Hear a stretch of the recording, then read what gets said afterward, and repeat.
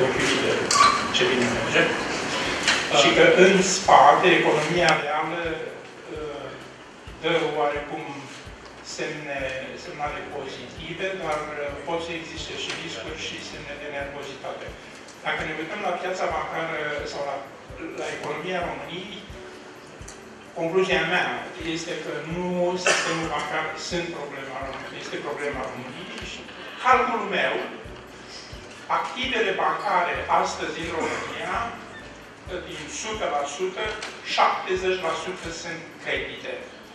Uh, investiții pe piețele financiare probabil sunt mai puțin de 20% din toate activele bancare, pentru că finanțarea în România e la fel. Este, este preponderent termen scurt. 50% din finanțarea locală este sub un an. 50%.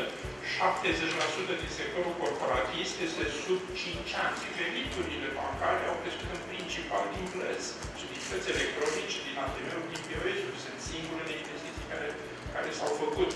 Pentru că, ziceam, la credite nu cred că mai este loc